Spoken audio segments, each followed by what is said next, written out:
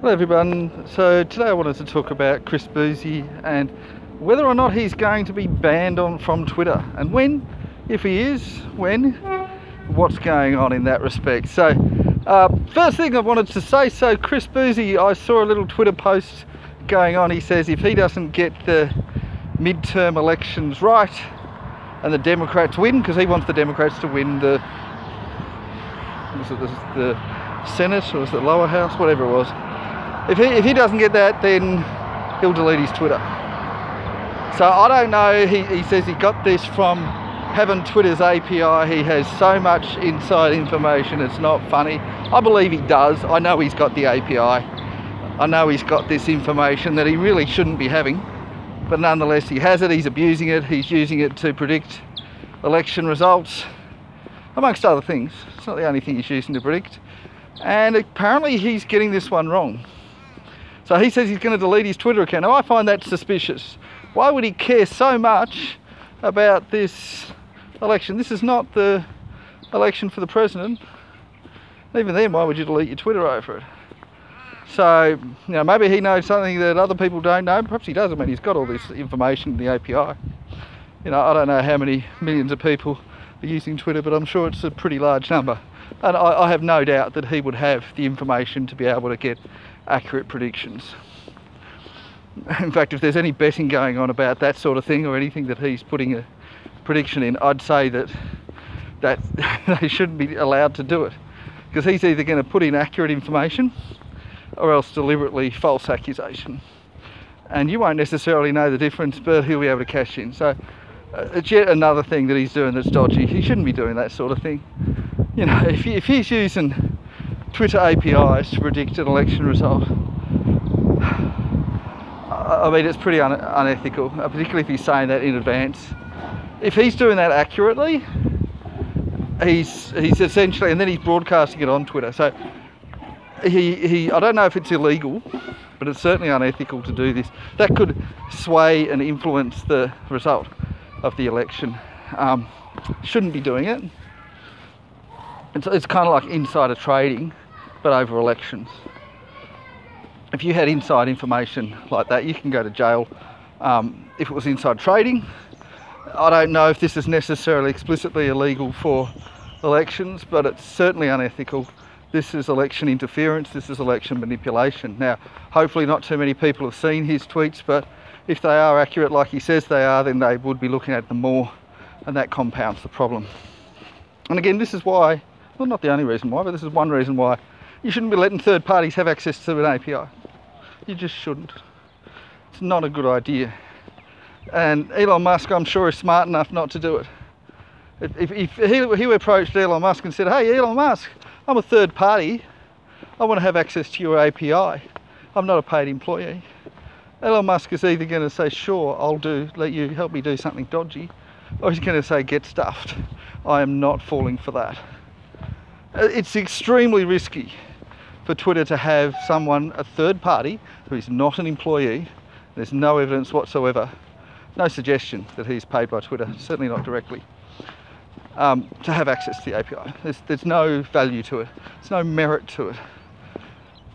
If they want to have him contributing to bans, then they should hire him directly and have a purpose and have a structure of what he is and isn't allowed to do. The only value for this is if Twitter is trying to do, use him to do things that are dodgy.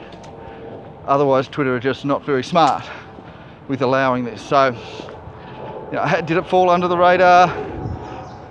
There's, there's nothing legitimate in this, and, and this election thing is just absurd. So, so but why is he threatening to delete his Twitter over this if he's wrong? If the algorithm that he used is wrong, he should know that it's wrong. If he's deliberately spreading false information about this, then, you know, he's not deleting his Twitter for that reason, is he? And I, I, do wonder if that's the case, that he's trying to delete his Twitter because he knows that Elon Musk is in charge and he's in a lot of trouble. So what would Elon Musk do? If you would just imagine you're Elon Musk and you're looking at this bot sentinel, the first thing that you'd probably do is you'd say, you'd rip that API access off him. You'd just say, no. And I know I said that Uh, the Twitter employees that are currently there probably all hate Elon Musk. They know that he's going to fire them, most of them. But they also know that he has no legitimate reason to have the API. So there's going to be no arguments about him removing the API. But this is the question. If he so he could remove the API today, but could he ban him today? He could. But again, you've got that whole thing. You want to get the moderation team in place.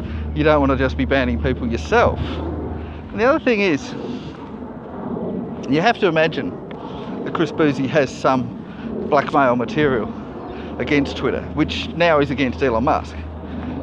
Now, Elon Musk needs to separate himself from the previous people that were running Twitter in order to avoid that. So, I mean, potentially with all this access to API, he could have blackmail material specifically against Elon Musk, uh, separate from Twitter. Could be to do with Amber Heard. He might know, for example, that Elon Musk is um, Amber Heard's baby daddy of Oonagh Paige Heard that he's the dad. So that could be something that through accessing the API that Chris Bouzy has that as proof and he could know all the dirty dealings, he could know that Elon Musk um, was with Amber Heard when she was married to Johnny Depp and there could be a lot of other things. I mean these are just simple things that are fairly much public knowledge but there could be a lot of really nasty stuff that he knows. So he could be saying, oh don't ban me or I'll expose this that kind of thing. So that, that could be holding him back. And it could be that Elon Musk would keep letting him have this API access until he can ban him completely. Because if, if Elon Musk uh, removes the API access, Chris Bouzy is going to say, oh, I'm going to be banned soon. And then he'd be, even if he didn't get a threat, he would just start exposing stuff, start going to the media and start revealing all this stuff. So, so Musk would know he has to do it all in one go. He has to remove the API access at the same time as banning him. He has to do the whole thing at one go, and he has to do it at, when he's at a stage where he's protected. So when he's saying to himself, all right, I know that you can't do anything. I have covered all my bases. I've separated myself from Twitter. I have put in a, an action to deal with all the blackmail that you have against me. And I've no doubt that Chris Bouzy has stuff against him. And then he just do it but the thing is, I, I don't think I, I, think Musk could sort of work out and go, well, you've got a little bit of blackmail against me, but it's not going to kill me. It's not going to be that much. And he'd probably argue, well, I mean, let's say that it's he's the dad of uh, Amber Heard's uh, daughter. He could say, yeah, I'm, I'm the dad. It's public record if you actually bothered to check. I'm assuming that there is some hospital that has recorded that. They just reveal that, say, yeah, that's public knowledge, no worries and he cheated on well he, he was with Amber Heard when she was still married to Johnny Depp he would say well she was the one cheating. He didn't know that she was still with him. That's a fair enough argument I mean the person in the relationship is the one that's cheating not the person that's not in a relationship. He wasn't cheating on anybody. And you know and even if he did knew well she's the one to blame not him. So that's out of the way. Is there anything else maybe that he could deal with that sort of stuff? And he could say, all right, well, I might take a bit of a hit, but it's not worth it to keep you on board because you're going to keep blackmailing me, keep blackmailing other people. And then other people might say, oh, well, he's got blackmail material against them as well. And they might not want him to reveal it. So, you know, having the, the API access, Chris Bouzy could potentially have private access to all sorts of things. So what Elon Musk is probably going to have to do is to have some kind of legal injunction preventing Chris Bouzy from revealing that information. And this could be some kind of suppression order and could say, you had uh, this access, it allowed you access to confidential materials. As the owner of Twitter, I forbid you from revealing this under penalty of whatever. And then he just couldn't reveal any of it. And as the owner of Twitter, he has every right to do that. There is a legal process to do that, but he could put that in place, put it in place, remove the API access, deal with his own blackmail issues, and ban him all in one go. But will that happen today? I'm going to say no. Will it happen next year? Will it happen middle of next year when potentially Trump might be unbanned? I'm not. I don't think it'll take that long. I'm going to suggest this will happen before Christmas, by Christmas. Uh, now, is it guaranteed? It's definitely going to happen. There is a possibility that it doesn't happen. I think he should ban him. Let's make no mistake. But there's a possibility it doesn't happen, and that would probably be if, let's say, Musk thinks, oh look, it's not worth it because he's going to get too much damage by being blackmailed and all that. So, and maybe other people getting blackmailed. So there, there is a chance that he won't. I think it would be unethical for Musk not to ban him. I certainly don't, don't think Musk is silly enough just to remove the API access and leave it at that. I think he would do, do everything all at once. I'd, I'd put the chance of him banning Bouzy at about 95%. And the other thing is, uh, when Bouzy, when Musk bans Bouzy, he'll be number one dealing with the bots and all that sort of thing, and number two dealing with any people that think that he's on Amber Heard's side. Of course, I don't think anyone wants to be publicly identified with Amber Heard, and we know that Chris Bouzy is on Amber Heard's side. So Musk will suddenly appeal to the 95% of people who supported Johnny Depp, and that'll put, put him in a good place this is not just Republicans versus Democrats. Not 95% of people in the world support Johnny Depp against Amber Heard. So if Elon Musk puts himself in that 95%, he'll get a lot of praise, a lot of publicity, a lot of positive support in relation to that. So I think that's probably what's going to happen. And will Bouzy delete his account? He'll say, oh, I've deleted my account. I wasn't banned. I deleted my account, but it wasn't because of this. It was because of the Senate.